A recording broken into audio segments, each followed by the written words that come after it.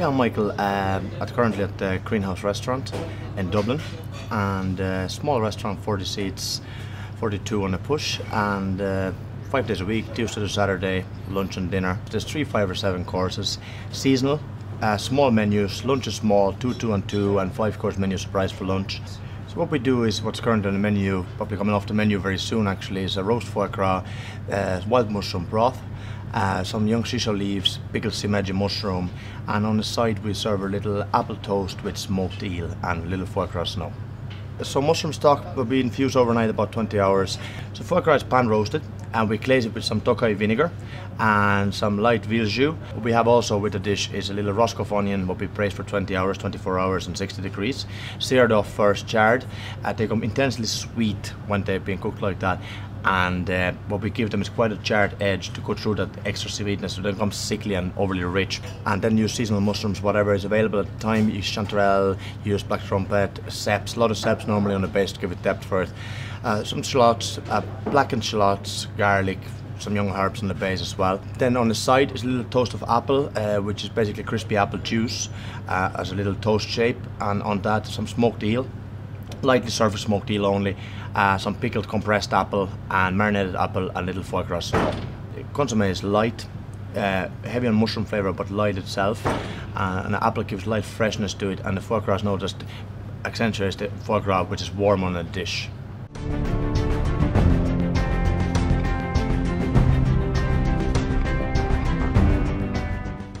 So it's a roast squab pigeon, imperial pigeon, and uh, what we do is serve with that some uh, butternut squash, pumpkin, different preparations of that.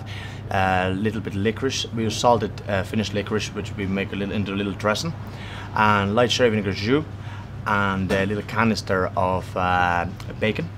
So the pigeon's been first poached at 61 degrees for 40 minutes, and then it's been rested 10 minutes room temperature, then iced after.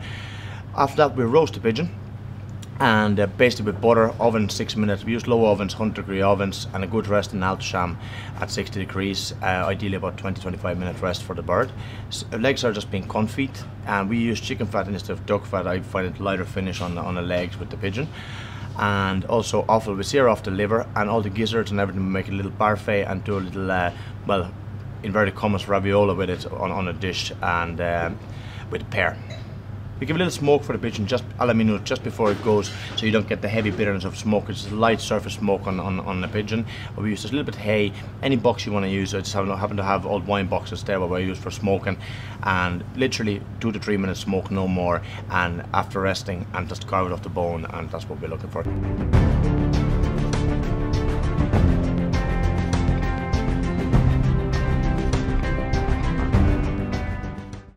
So the base what we do today is uh, we have a little uh, Florentine base with peanut butter and on top of that we have a little tempered sheet of chocolate uh, followed by a little agar uh, caramel jelly with vanilla and salted butter and then on top of that a little roche of split milk chocolate and uh, finish with some sea bucked caramelized sea buckthorn puree, sea buckthorn gel and a little brown butter and sea buckthorn ripple ice cream.